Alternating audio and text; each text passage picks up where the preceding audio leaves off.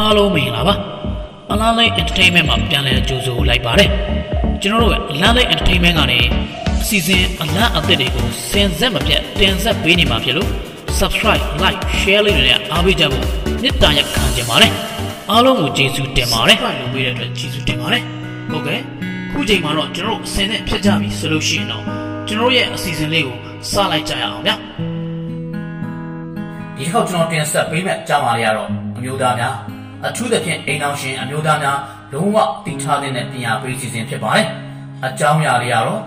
အမျိုးသားတွေထင်သလောက်မစွမ်းတော့ဘူးဆိုတာပါကြောင့်လေ။ဒါဆိုရင်ပြန်လည်တန်ဆွမ်းပြီးစိတ်သွားတိုင်းကိုပါအောင်ဘယ်လိုလုပ်ရမလဲဆိုတဲ့အကြောင်းအရာကိုတင်ဆက်ပေးသွားမှာပဲဖြစ်ပါတယ်။ဟုတ်ပါတယ်။အမျိုးသားတွေဟာသူတို့ရဲ့အလိမ့်မှုစွမ်းဆောင်ရည်အားနည်းနေပြီးကြာစင်းလာနေပြီဆိုတာကိုထုတ်ပြောဖို့တိတ်ပြီးတော့တွန့်ဆုတ်နေတတ်ကြပါတယ်။တခြားလူကိုမပြောနဲ့ အတူတူအိတ်တဲ့အိတ်ရာဘောကဂျင်သူကိုတောင်မပြောဘဲဖုံးကွယ်ထားတတ်ကြတာမျိုးဖြစ်ပါတယ်။ထင်သလောက်မစွမ်းတော့ဘူးလို့အားငယ်ပြီးလောင်နေတာမျိုးဖြစ်ပါတယ်။ဒါပေမဲ့အမျိုးသားအများစုဟာလိမ့်မှုစွမ်းဆောင်ရည်ကြဆင်းတဲ့ပြဿနာကိုရင်ဆိုင်ကြရလိမ့်ရှိပြီးတော့ထုတ်ပြောဖို့ဆိုရင်ရှက်နေကြတာကြောင့်ကြိတ်ပြီးတော့ကုတာ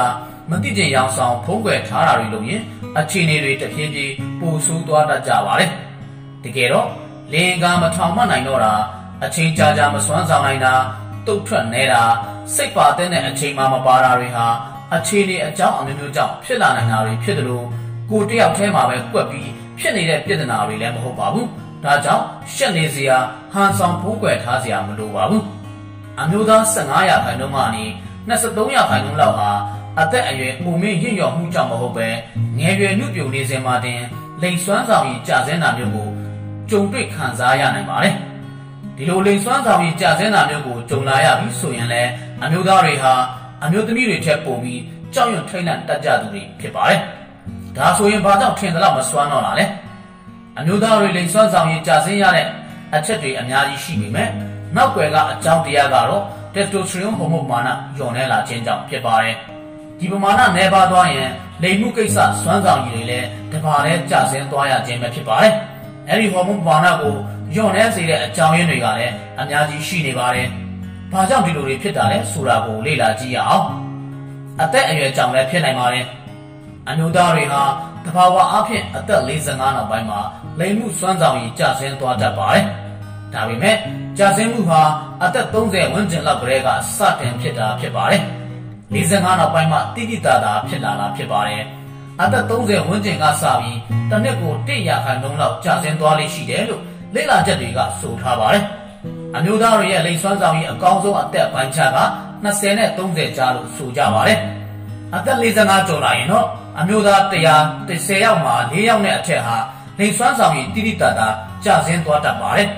။စိတ်ဖိစီးမှုများနေတာကြောင့်ဒါလည်းဖြစ်နိုင်ပါတယ်။အမျိုးသားတွေလိမ်စိတ်နှဲပါသွားတာမျိုးစွမ်းဆောင်ကြီးကြာဆင်းသွားတာမျိုးတွေကစိတ်နဲ့အများကြီးပတ်သက်နေတတ်ပါတယ်အထူးသဖြင့် စိတ်ဖိစီးမှုများနေတာမျိုးပူပင်သောကများနေတာမျိုးတွေကြောင့်ပိုပြီးဖြစ်နိုင်ပါတယ်နောက်တစ်ခါကျန်းမာရေးအခြေအနေကြောင့်လည်းဖြစ်နိုင်ပါတယ်အဝလွန်နာအိတ်ဟောက်အသက်ရှူကျက်ယောဂနှလုံးယောဂတွေးတိုးယောဂစတဲ့ကျန်းမာရေးအခြေအနေတွေဟာလိမ်စွမ်းဆောင်ရည်ကိုကြာဆင်းစေပါတယ်ဒီယောဂါတွေဟာလိမ်စိတ်နဲ့စွမ်းဆောင်ရည်ကိုတိုးပွားစေတဲ့ဟော်မုန်းပမာဏကိုလျော့ပါစေတာကြောင့်ပဲဖြစ်ပါတယ်။နောက်ပါတောက်နေကြဆေးဝါးတွေကြောင့် တချို့သောကျန်းမာရေးပြဿနာတွေရဲ့ဆေးဝါးတွေဟာလိမ်စွမ်းဆောင်ရည်ကိုနှောက်ယှက်နိုင်ပါတယ်။ဒါကြောင့်ဆေးဝါးမြှဝဲတဲ့အခါမှာကိုမြှဝဲတဲ့ဆေးဝါးတွေရဲ့ side effect တွေကိုဆရာဝန်ထံကနေတေချာမေးမြန်းဆွေးနွေးဖို့လိုအပ်ပါတယ်။ကိုမြှဝဲနေတဲ့ဆေးဝါးကြောင့်ခုလိုဖြစ်နေတာကိုမသိတဲ့အခါကို့ဘာသာစွမ်းဆောင်ရည်မဲ့လာတာလို့ထင်ပြီးစိတ်သက်ကြသွားတတ်လို့ပဲဖြစ်ပါတယ်။နောက်တစ်ခါအမျိုးသားတွေမှာသုံးဆွဲတတ်ကြတဲ့အရက်နဲ့မူရစေဝါကြောင့်လည်းဖြစ်နိုင်ပါတယ်။ အရက်သေးစားဆေးလိမ့်နဲ့မူရစေဝါတွေဟာလိန်စွမ်းဆောင်ရည်ကိုကျဆင်းစေပါတယ်။အထူးသဖြင့်ပုံမှန်မိဝဲနေသူတွေဆွဲလာနေသူတွေဟာလိန်ပိုင်းဆိုင်ရာစွမ်းဆောင်ရည်ကင်းမဲ့တဲ့ပြဿနာတွေကိုစောလျင်စွာခံစားရတတ်ပါတယ်။ဒါကြောင့်အများဆုံးလျှော့ခြင်းဖြတ်ခြင်းပြုလုပ်တင်ပါတယ်။နောက်တစ်ချက်ကတော့လေ့ကျင့်ခန်းအလွန်ကျွံလောက်တာကြောင့်လည်းဖြစ်နိုင်ပါတယ်။လေ့ကျင့်ခန်းလောက်တာဟာလိမ်စွမ်းဆောင်ရည်တိုးတက်စေဖို့အထောက်အကူဖြစ်စေတယ်ဆိုပေမဲ့ဒီအချက်ကအများအားတော့မှန်မနေပါဘူး။ လေ့ကျင့်ခန်းကိုပြင်းပြင်းထန်ထန်နဲ့လွန်လွန်ကျူးကျူးပြုလုပ်ပြရင်လည်း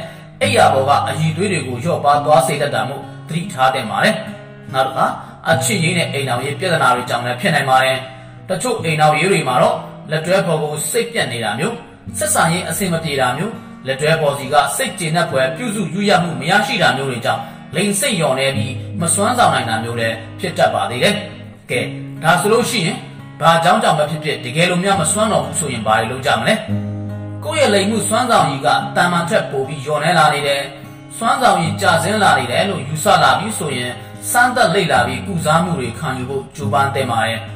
ထုတ်ပြောရမှာကိုရှက်ရွံ့နေုံနဲ့အရာရာကပြည်လည်သွားမှာမဟုတ်တာသက်ဆိုင်ရာပြဿနာကိုအဖြေရှာနိုင်မှကုစားမှုတွေပြုလုပ်နိုင်မှာဖြစ်တာမို့ကျွမ်းကျင်သူတွေနဲ့တိုင်ပင်ဆွေးနွေးတာမျိုးမဖြစ်မနေပြုလုပ်တဲ့မှာလေဒါအပြင်နေ့စဉ်လူနေမှုဘဝမှာလည်း ကျမ်းမာပြီးစိတ်ဖိစီးမှုကင်းအောင်နေထိုင်တာအာဟာရပြေဝအောင်စားသုံးတာတင့်လျော်တဲ့လေ့ကျင့်ခါမျိုးကိုနေ့စဉ်ပုံမှန်လုပ်တာအေးအေးဝဝအိတ်တာအရက်နဲ့မူရစေဝါသုံးစွဲမှုတွေကိုဖျက်တောက်တာတွေကိုလည်းပြုလုပ်တဲ့မှာလေအရေးကြီးတာကတော့ဒီပြဿနာဟာအမျိုးသားတွေဟာသူတို့ရဲ့လိမ်မှုစွမ်းဆောင်ရည်အားနည်းနေပြီးကြာစင်းလာပြီးဆိုတာနဲ့ထုတ်ပြောဖို့တိတ်ပြီးတွန့်ဆုတ်တတ်ကြတာပဲဖြစ်ပါတယ်။တခြားလူကမပြောနဲ့အတူတူအိတ်တဲ့အိတ်ရာဘောကချင်းတူကိုတောင်မပြောပဲဖုံးကွယ်တတ်ကြတယ်ပါတယ်။ ထင်သလားမစွမ်းတော့ဘူးဆိုပြီးလောင်နေစိတ်ပူနေတာမျိုးဖြစ်ပါတယ်။ဒါပေမဲ့